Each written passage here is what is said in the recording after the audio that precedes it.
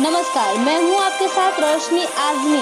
आप देख रहे हैं जनवाद टाइम्स सच के साथ एक कदम। आपका नाम क्या है? मेरा नाम सियारा सिंह है सियाराम दास। आज क्या प्रोग्राम था आपका? हमारा आज का एकादशी का एकादशी का व्रत था परिक्रमा थी। अच्छा परिक्रमा में क्या करते हो? परिक्रमा में हम जो है गंगा जमुना मैया की गायों की और संत सेवा और जो है भंडारे प्रसादी वितरण होता है। अच्छा ये कितनी साल से आप ये पदयात्रा कर रहे हैं? हमको चौदह वर्ष हुए चौदह वर्ष।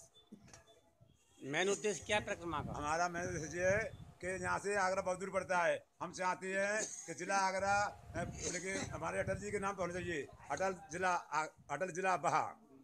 और क्या मांग जाना चाहते हो? और यमुना मैया सफ़ाई नहीं हो रही है। यमुना मैया गंदा पानी चल रहा है आचमन लाके नहीं रहा है। गौ माता से हमारी गौ माताएँ एक्सीडेंट हो रहा है। किसान बेघर हो चुके हैं। सरकार हमारी सुनाई नहीं कर रही है। आपका अगला पड़ाव क्या होगा?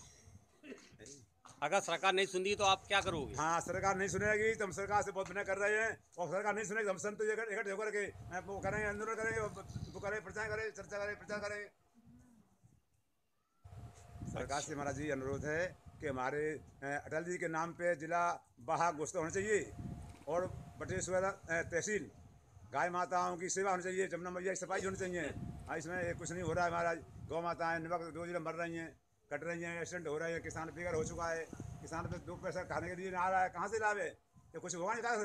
किसान मच जाएगा हम सब मच जाएँगे। इसलिए हम सरकार से अनुरोध करते हैं सरकार हमारा ध्यान दे और जो है जी सेवा ज़रूर करें। ठीक है। जय जय श्री राधे